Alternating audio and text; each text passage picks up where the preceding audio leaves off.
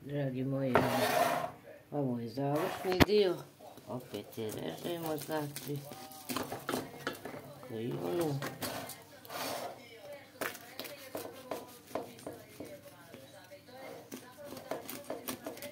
To ćemo ovako, nećemo više.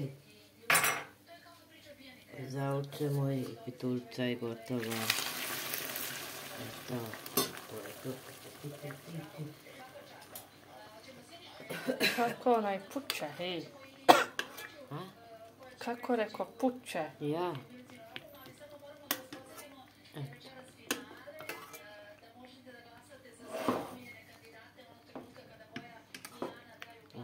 Malo ćemo još zaučiti.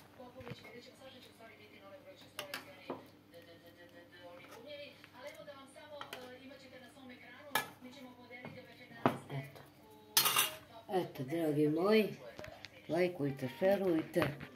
Ko hoće nek se pretplati, ne molimo nikom. Mi inače ovo više iz svog hobija, ali eto. Eto, to, to vam bilo to.